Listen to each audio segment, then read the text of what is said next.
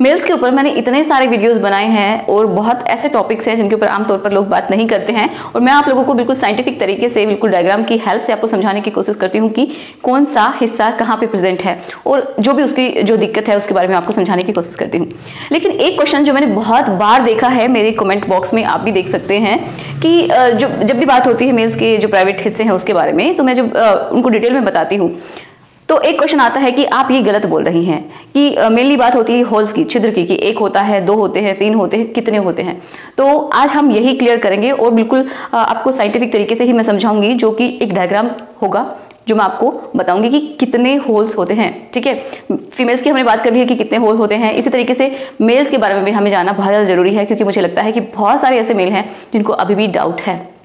और जो मैं हमेशा बोलती हूँ कि अपनी बॉडी के बारे में जानने का हम सबका हक है और इसमें बिल्कुल भी शर्मिंदगी की बात नहीं है। तो चलिए शुरुआत करते हैं आज की इस वीडियो की जिसमें हम बात करेंगे कि कितने छिद्र होते हैं मेल्स में ठीक है? तो चलिए आप भी इसी तरीके से शॉक्ट हो जाएँगे कि ऐसा होता है क्या। चलिए हम देख लेते हैं। तो चलिए बात करते हैं इस डायग्राम को बहुत ही आसान तरीके से मैंने आपको समझा आ, बनाने की कोशिश की है ताकि आप समझ अच्छे से सके। तो ये वाला जो पार्ट है ये आपको दिखाई दे रहा है जो रेड कलर से मैंने बनाया है ये पूरा हिस्सा ये एक ओपनिंग के थ्रू खुल रहा है। तो ये जो ओपनिंग है, इसको हम एनएस बोलते हैं। यहाँ से आप अपना जो सॉलिड वाला मटेरियल होता है, वो बॉडी से बाहर निकालते हैं, ठीक है? मतलब आपका मल बाहर निकलता है। ये ऊपर कनेक्टेड होता है पूरा कहाँ से? जो आपके इंटेस्टाइन है। उन इंटेस्टाइन का ये समझिए एक पार्ट है, जो कि मल को बॉडी से बाहर निकालने का काम करता है। तो ये हो गया पहली ओपनिंग ठीक है?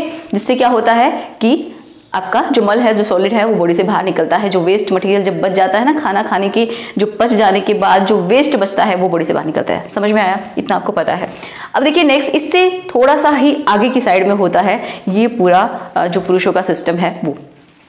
इसमें मैं आपको समझा दूँ तो ये जो मैंने येलो कलर से बनाया है पूरा तो ये होता है जहाँ पे पेशाब इकट्ठा होता रहता है यूरिनरी ब्लडर ओके यहाँ से एक ट्यूब निकलती है मेल्स में ये ट्यूब काफ़ी लंबी होती है, जो कि मैंने येलो कलर से बनाई है। ठीक है? ये बहुत लंबी होती है।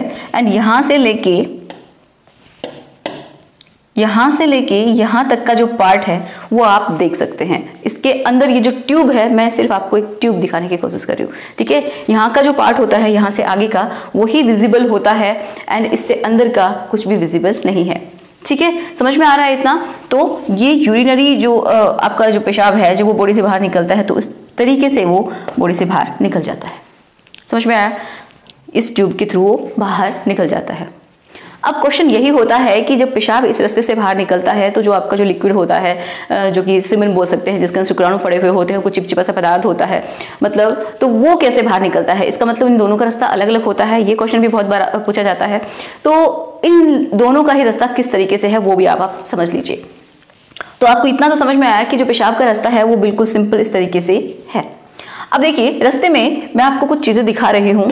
और आपको बिल्कुल भी कन्फ्यूज़न ना हो, उसके लिए मैं आपको थोड़ा सा बता दूँ कि ये दो मैंने बनाए हैं, क्या? जो आपकी टेस्टिकल्स होती हैं, जहाँ पे आपका स्पंग का फॉर्मेशन होता रहता है। तो यहाँ से ट्यूब की हेल्प से कहाँ पे जाते हैं? देखिए, एक ग्रीन कलर की स्ट्रक्चर आपको दिखाई दे रही है।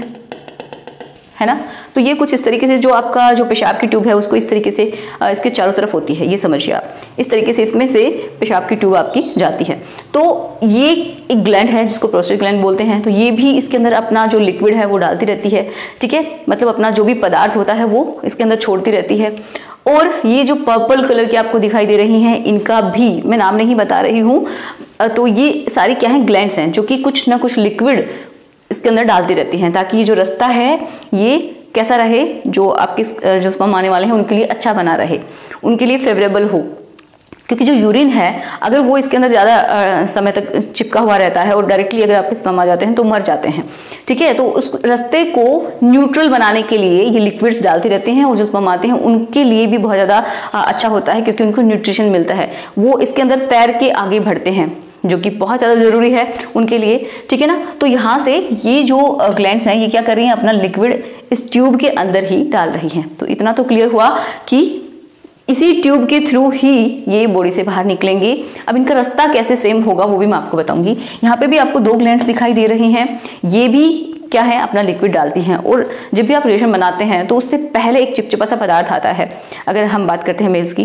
तो वो जो चिपचिपा पदार्थ है, वो मेनली ये जो छोटी छोटी सी ग्लैंड सी जो ग्लैंड होती हैं, ये डालती हैं, ताकि जो रास्ता है वो क्लियर हो जाए और आगे का जो प्रोसेस है वो आसान हो जाए। तो इस तरीके से ये जो ग्लैंड है, इनका बहुत ही इंपॉर्टेंट रोल होता है। देखिए, बहुत ही छोटू छोटू सी ग्लैंड होती हैं ये, जो कि अपना लिक्विड इसके अंदर डालती रहती हैं। समझ में आया?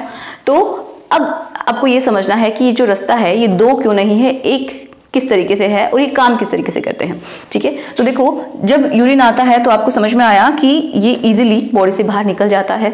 लेकिन जब आपका जो सेमन है, वो बॉडी से बाहर निकल रहा है, जो वाइटिस सा लिक्विड है, वो बॉडी से बाहर निकल रहा है तो वो कैसे निकलता है? तो देखिए, जब भी वो बॉडी से बाहर निकलने वाला होता है तो कब आता है? मेनली जब आप किसी के साथ रिलेशन बना रहे हैं, उस टाइम में। तो ये वाला रास्ता ऊपर की साइड से समझिए, जो रास्ता है, वो बंद हो जाता है। यहाँ से ऊपर का कॉन्ट्रैक्ट हो जाता है, ये मसल्स यहाँ की, और वो बंद हो जाता है प्रॉपर तरीके से और यहाँ से जो लिक्विड बॉडी से बाहर आ रहा है, ठीक है? वो यहाँ से होते हुए सिंपली इसी कॉमन रास्ते से बाहर निकल जाता है। तो जब एक सिस्टम काम कर रहा है तो उस टाइम में दूसरा नहीं करता है। तो इस तरीके का कुछ होता है। अगर आपको ऐसा लगता है कि आपका जो राइट हिस्सा है, उसमें धीरे धीरे तनाव जाने लगा है, या फिर कुछ टाइम के लिए रहता है, फिर आता ही नहीं है तो इस तरीके की समस्याएँ आने लग गई हैं आपको, और, या फिर ऐसा हो सकता है कि आपका मन ही नहीं होता है, इच्छा नहीं होती है, बिल्कुल धीरे धीरे खत्म होती चली जा रही है या फिर ऐसा भी हो सकता है कि सेंसिटिविटी कम हो गई, जिसकी वजह से आपका टाइमिंग बहुत ही कम हो गया है। तो ये, अगर ये सारी प्रॉब्लम्स आपको हैं तो मैं आपको एक ऑयल रिकमेंड करना चाहती हूँ, जो कि है लिफ्टअप ऑयल नेचर मानिया का। ये बहुत ही अच्छा ऑयल है, क्योंकि देखिए, सारे के सारे नेचुरल हब से मिलकर बना हुआ है। इसमें जो भी इंग्रेडिएंट्स हैं, उनकी प्रॉपर तरीके से लिस्ट दी हुई है। इसलिए इसके ऊपर आप विश्वास कर सकते हैं। और देखिए, ये किन किन हब से मिलकर बना हुआ है, वो भी मैं आपको बता देती हूँ। इसमें है असुगंधा है सतावर है सफ़ेद मूसली है और लौंग है। ये क्या काम करते हैं? देखिए, ये कि आपका जो हिस्सा है, वहाँ पे प्रॉपर तरीके से ब्लड का फ्लो होगा। जब आपका ब्लड का सर्कुलेशन बहुत अच्छा होता है तो वहाँ पे जितनी भी टॉक्सिन्स होते हैं या फिर जो भी प्रॉब्लम्स होती हैं या फिर धीरे धीरे शुरुआत हो रही होती है किसी ना किसी तरीके के छोटे मोटे इन्फेक्शन का तो उसको भी ये क्योर कर देता है, ठीक है? तो आपको करना क्या है कि ये जो है, इसके आपको दो ड्रॉप्स लेनी है। देखिए कितनी अच्छी पैकेजिंग है, इसकी प्रॉपर तरीके से ध्यान रखा गया है हाइजीन का। तो इसमें सिर्फ़ आपको टू ड्रॉप्स ही लेनी है। इस तरीके से दो पंप लेने हैं और इसका जो कलर है वो बिल्कुल नेचुरल है। इन हर्ब्स की वजह से इसमें कोई आर्टिफिशियल फ्रेगनेंस नहीं है। नेचुरल जो इंग्रेडिएंट्स हैं, उन्हीं की इसमें हल्की हल्की सी जो इसकी स्मेल है, खुशबू है, वो आती है। तो आपको सिर्फ़ दो फिंगर्स की हेल्प से या फिर इस तरीके से आपको लेना है और प्रॉपर तरीके से अपने जो प्राइवेट हिस्सा है, उसकी मसाज करनी है। मसाज की टेक्निक्स बहुत तरीके की हैं, ये आप कहीं से भी अच्छे से सर्च करके कर सकते हैं।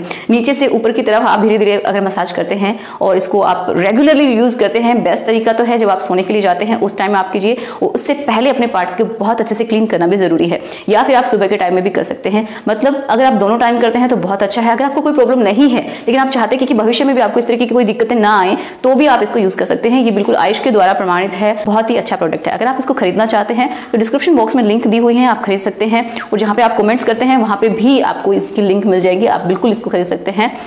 तो आपको समझ में आ गया होगा कि कितने टोटल छिद्र होते हैं। तो समझ सकते हैं कि एक जो सॉलिड के लिए होता है और जो लिक्विड्स हैं, जितने भी तरीके के आपके बॉडी से बाहर निकल रहे हैं, वो भी प्राइवेट हिस्से से, वो सिर्फ़ एक ही होता है, वो ये है। ठीक है? मैंने यहाँ पे सिर्फ़ ट्यूब आपको बना के दिखाई है। तो मिलते हैं नेक्स्ट वीडियो में। आशा करती हूँ कि आज का वीडियो आपके लिए हेल्पफुल रहा होगा। जिन लोगों के डाउट थे, वो क्लियर हुए होंगे। अगर फिर भी कोई डाउट है तो मुझे कॉमेंट बॉक्स में ज़रूर बताइएगा और मैं उसके ऊपर वीडियो ज़रूर बनाऊँगी। सो गुड बाय अपना ख्याल रखना है, खुश रहना है और दूसरों के बीच में खुशियाँ बांटते रहना है।